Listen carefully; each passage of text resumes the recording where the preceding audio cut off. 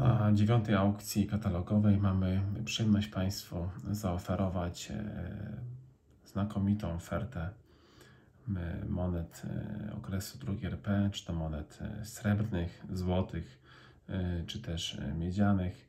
A na sam koniec naszych przyjęć aukcyjnych trafiła do nas piękna kolekcja monet II RP, monet srebrnych, monet, gdzie właściciel tych monet, monet zbierał je bez e, gradingu, a sztuki, które zakupił w gradingu, e, z nich wyjmował.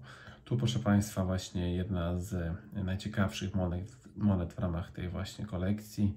Kolekcji e, naprawdę na bardzo wysokim poziomie, gdzie mamy przecież Konstytucję 81 100 perełek, a tu mamy kolejną, jakże rzadką, jedną z najrzadszych monet drugiej RP, czyli sztandar wybity głębokim stemplem, w pięknym stanie zachowania. Moneta, jeśli chodzi o detal e, mennicza, e, bardzo ładny e, zegarowy połysk, niemniej możemy dopatrzeć się drobnych zarysowań w tle, tak zwane włoski, czyli te surface hairlines, które czasami, nie zawsze powodują, że moneta może nie otrzymać noty MS, E, to zależy czasami właśnie od emisji, od gradera, od ilości tych rysek.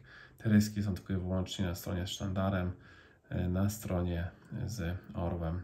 Mamy też taką dość ciemną, lekko fioletową wręcz e, patynę.